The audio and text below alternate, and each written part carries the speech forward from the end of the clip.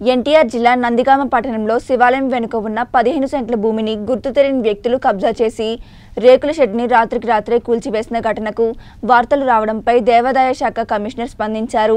వెంటనే నందిగామ దేవాదాయ అధికారి గెల్లి హరిగోపినాథ్ను స్థలం తాలూకు పూర్తి నివేదిక ఇవ్వాలని కోరారు.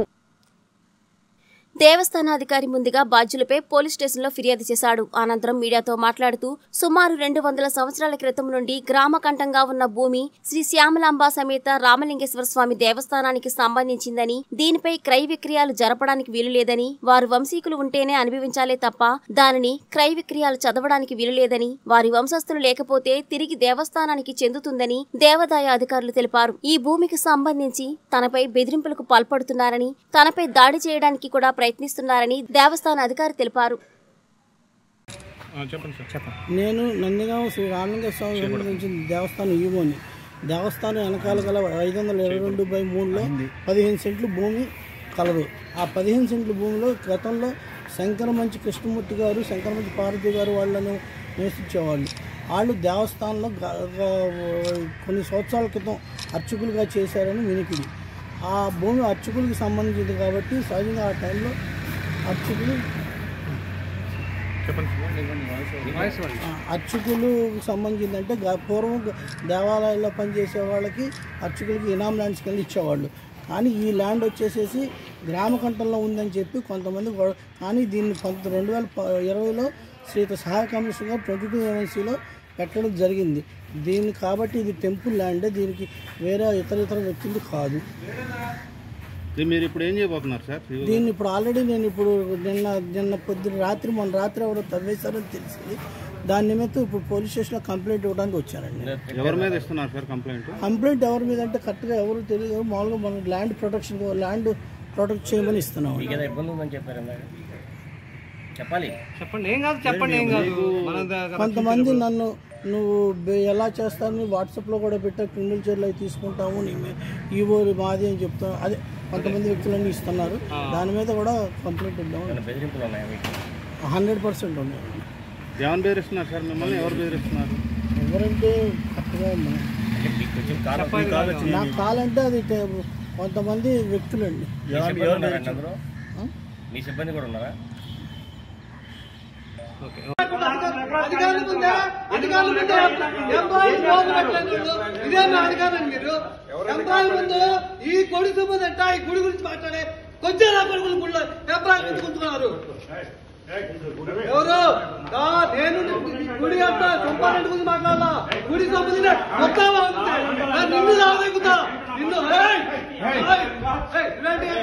నిన్ను కొడక. తప్పుడు నా కొడక గుడిని తింటున్నావు నువ్వు. గుడిని తింటున్నావు.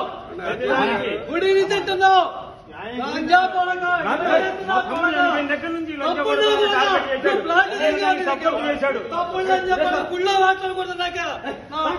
తమ్ముడు చనిపోయాడు సపోర్ట్ చేశాడు.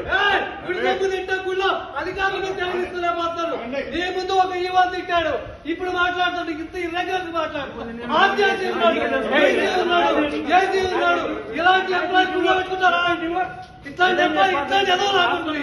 గుళ్ళో పెట్టుకుంటారా? బొద్దు అయితే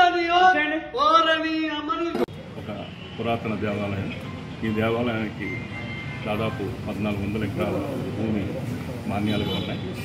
అయితే రికార్డు మేరకు కేవలం సుమారు నాలుగు వందల ఎకరాలు మాత్రం దేవస్థానం పోలీసులు ఉండటం కానీ వివిధ రకాలుగా లీజుకి ఇవ్వడం కానీ జరుగుతుంది. మిగతాదంతా కూడా అన్యాక్రాంతం ఉంది. దాంట్లో కొంత భూములు మేము బహిరంగ వేలం ద్వారా విక్రయించడం జరిగింది.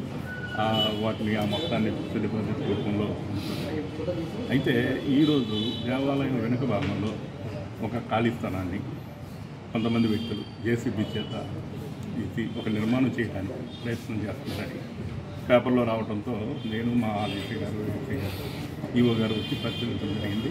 మేము విన్న దాని ప్రకారం అది అర్చక కోటర్ కింద ఉపయోగించేవారని గతంలో ఆ అర్చక కోటర్ ఉన్నంతకాలం కొంతకాలం తర్వాత అది పాడైపోవడంతో ఎవరు ఉండలేదు. ఇక్కడ ఎవరైతే అర్చకులుగా పనిచేస్తున్నారో వాళ్ళు వేరే నివాసం ఉండడంతో అది ఖాళీగా ఉంది. ఖాళీగా ఉన్న భూమి విలువ కట్టిందని చెప్పేసి దాన్ని కొంతకాలం క్రితం రిజిస్ట్రేషన్ చేస్తున్నారు.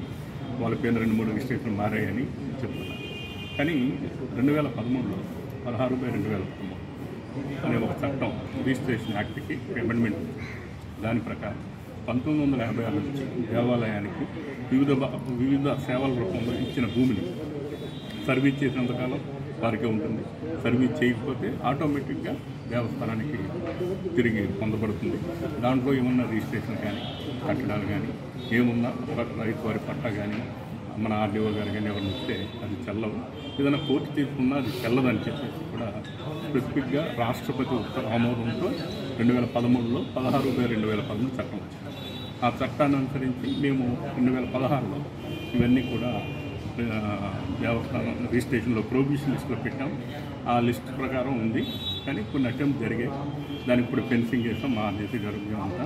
ఫెన్సింగ్ ఏర్పాటు చేస్తాం. ఇదేం కాదు. ఏ దేవాలయం భూమి అయినా అన్యాక్రాంతం కాకుండా చేయటం అన్యాక్రాంతం అయితే ఏ విధంగా డ్యూ ప్రాసెస్ ఆఫ్ లా ప్రకారం చేస్తాకి అన్ని చర్యలు తీసుకుంటాం. పెన్షన్ వేసిన తర్వాత బోర్డులు పెట్టిన తర్వాత పోలీస్ కేసు పెట్టారు ఆల్రెడీ ఇప్పుడు మీ ఇంటికి ఎవరో దౌర్జన్యంగా వస్తున్నారు. ఏం చేస్తారు? డ్యూ ప్రాసెస్ లా పోలీస్ స్టేషన్కి వెళ్తాం పోలీస్ స్టేషన్ వెళ్తాం చర్య తీసుకుంటాం. ఇది గవర్నమెంట్ ఇప్పుడు ఈ టెంపుల్ సంబంధించిన గవర్నమెంట్ ఈ టెంపుల్ సంబంధించిన